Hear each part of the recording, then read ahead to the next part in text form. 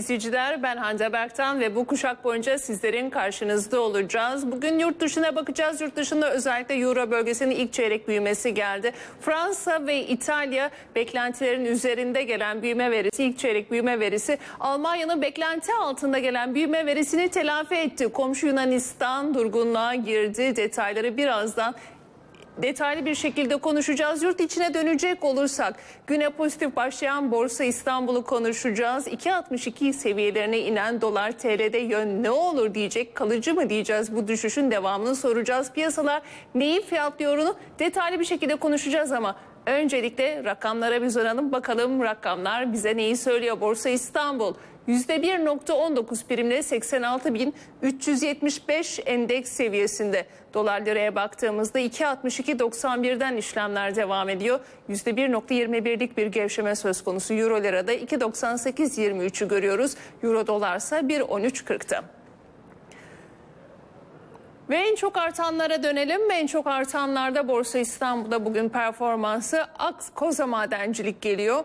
Ona Aksa Enerji Üretim, Çelebi Hava Servisleri, Koza Altın ve İhlas Holding izledi. Bugün performansı en çok artanlarda. Gelsin en çok düşenler.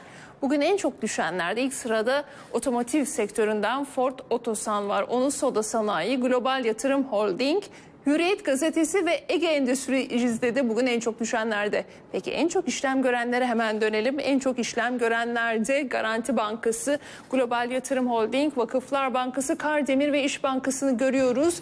3 bankacılık endeksi yer alıyor. Bugün en çok işlem görenlerde bankacılık endeksleri önderliğinde Borsa İstanbul pozitifliğini korudu diyebiliriz. Ve Türkiye tahvillerine hemen dönelim. Türkiye tahvillerine döndüğümüzde 10 yıllık tahvillerde %0.23 aşağıyla 8.97'leri görüyoruz. 5 yıllıkta 9.17'deyiz. 2 yıllık tahvilde ise %0.27 aşağıda 9.57'den işlemler devam ediyor. 2 yıllık tahvilde de yön aşağıya. Ve gelişen ülke para birimlerine bakalım. Dolar bugün gelişen para ülke para birimleri karşısında nasıl bir performans izlemiş?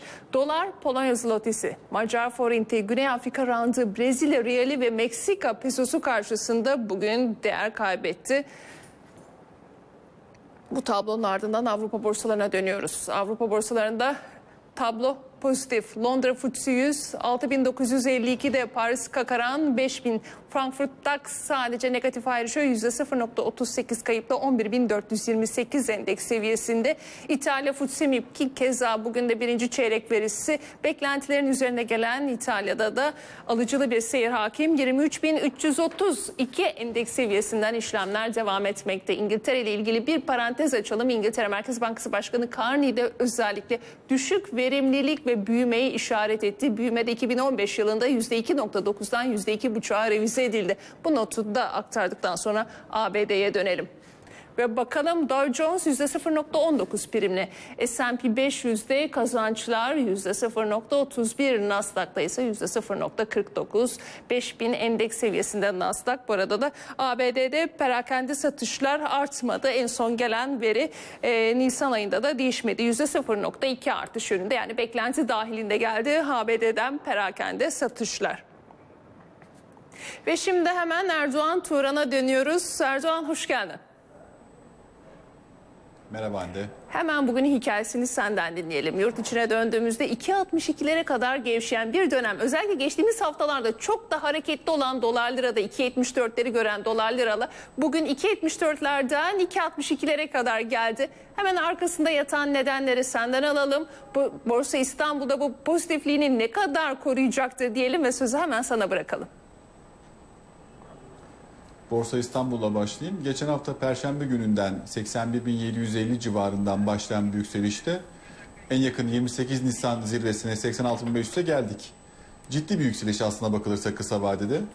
Aynı dönemde biz yani 28 Nisan'da endeks 86.500 iken kısa var, e, gösterge tahvilde 10.40 seviyesindeydiz. Bugün 9.5 seviyesindeyiz.